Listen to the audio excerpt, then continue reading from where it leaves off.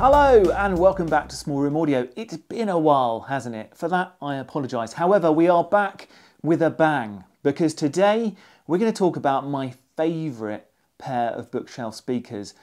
I, I don't want to use the word best because when we're talking about quite expensive speakers, it is all subjective. They're all pretty good at a certain price point and it's about what you like. However, I believe a lot of you would like this pair of speakers because they're so well rounded and they're so good in so many ways. What are we talking about? Of course, it is the Dynaudio Heritage Specials.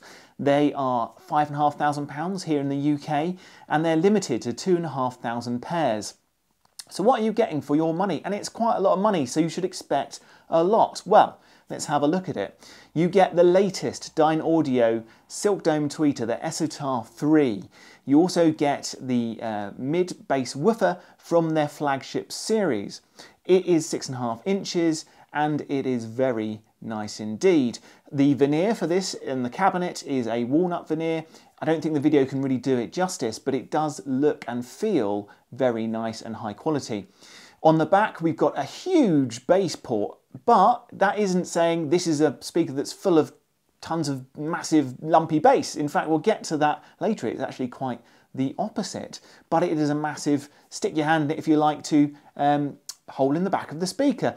Below that, you do have some of the nicest binding posts I've ever seen, and it's very nicely finished all the way around. 11 kilograms for the weight, and this speaker comes in with a sensitivity of 85 dB, so they're not very sensitive.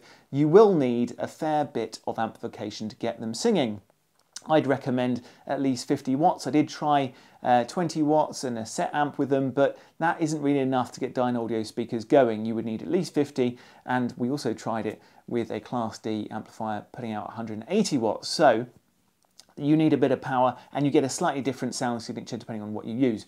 So crucially, what do they sound like? Let's go from the top to the bottom, starting first with that Esotar 3 tweeter.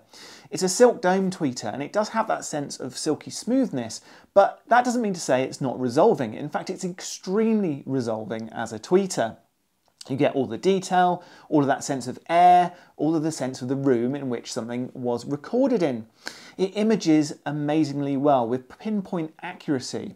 You do tell the difference between really good recordings and those that aren't so well recorded, but I think with a good front end, you're not really going to have your ears pierced like some other tweeters out there. This one remains relatively calm and in control at all times, but it's got that balance between res resolving ability and just a really nice, smooth, organic presentation. Moving down then to the mid-range that you get out of this woofer. It is slightly vocally forward, but that's quite nice. It brings the, speak, uh, the vocalist into the room with this speaker.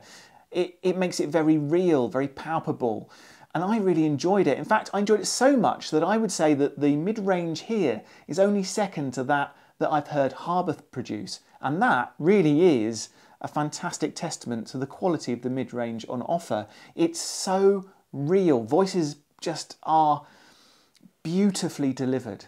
It, it, it maybe adds a tinge of warmth to a voice, but not a lot. It's just it's just lovely to listen to. For me, the mid-range here is the main reason why I value this speaker over others, uh, because unlike the Harbeth, you've also got incredible speed in the bass, which we'll come to now. So speed versus depth and impact, I guess, is what we're talking about with the bass. This is all about speed. There's a lot of texture. There's a lot of um, kind of ability to stop and start with the mid bass woofer. It's incredibly fast, as fast as maybe uh, my Klipsch Cornwall speaker, which has a very big 12 inch uh, woofer on it, but it, that stops and starts very quickly as well. It doesn't have huge impact, it doesn't have that kind of slam factor. If you want more bass depth and you want more slam, you will have to add a subwoofer to these uh, heritage specials. However, amplification also plays a part as well. With my tube amplifier, uh, it, it, does give a nice bass, but it isn't as fast as it can be, and it doesn't have as much impact as perhaps using a Class D amplifier. When I hooked this up to the NAD C298, wow, okay, it did have a lot more impact, but more than anything, the speed just got faster. It got that stop-start nature. Again, it was so, so fast. and it was incredibly exciting to listen to. So that gives you a flavour of the sound. It is an incredibly well balanced speaker.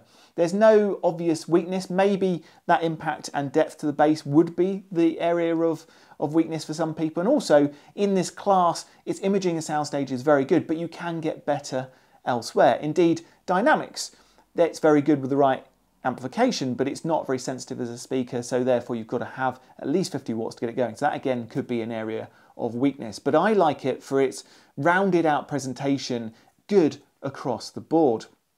So let's talk about comparisons in a bit more depth. I'll talk about four speakers that I've had in my room that I've owned alongside these, which I own. None of these are review samples, to give you a feel for perhaps how the other speakers are different in their presentations.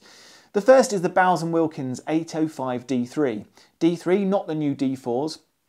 With the D3, you get more airiness, even more resolution and detail out of that diamond tweeter compared to the Dynaudio Heritage Special.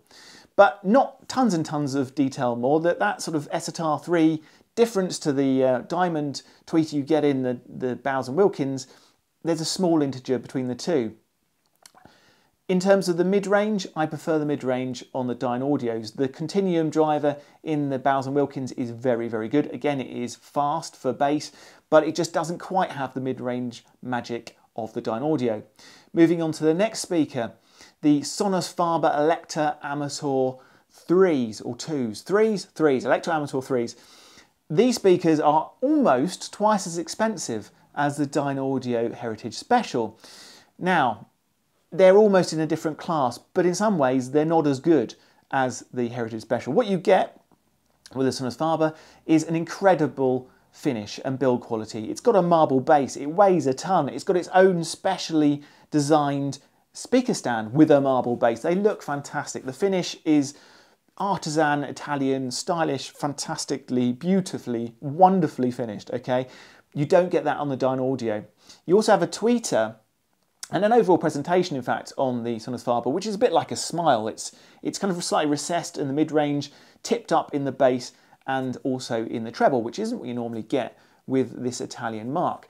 Now, the problem with this speaker and the beauty of it are kind of going hand in hand. You get the, the treble, which is slightly fierce in a small room if you're close to it. You need a little bit more distance with the Electa Amator 3 than you do with the Dynaudio Heritage Special. So it's not really something I would recommend in uh, midfield or near field.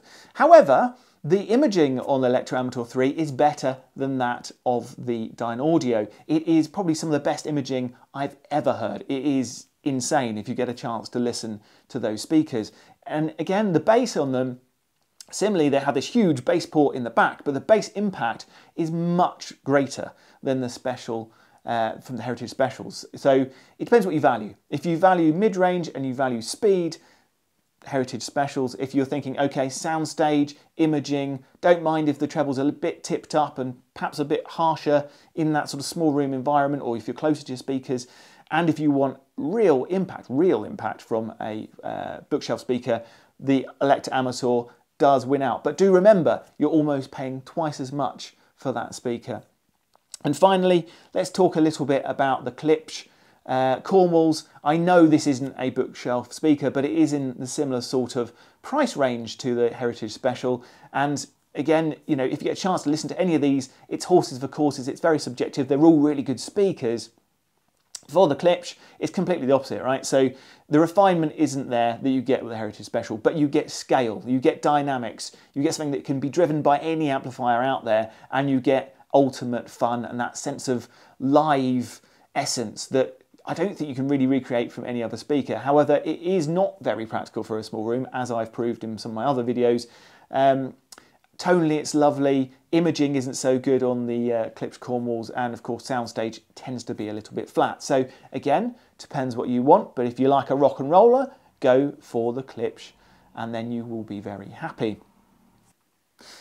So, to summarise then, why is it that Dynaudio are so special? It's because they're so well rounded. That Esotar tweeter has resolution in spades, but it isn't tipped up to get there. It doesn't have any harshness. It images wonderfully, It has great sense of air and soundstage. Then we have the bass, very quick, tons of texture, tons of detail in the bass that you probably didn't know was there with other speakers.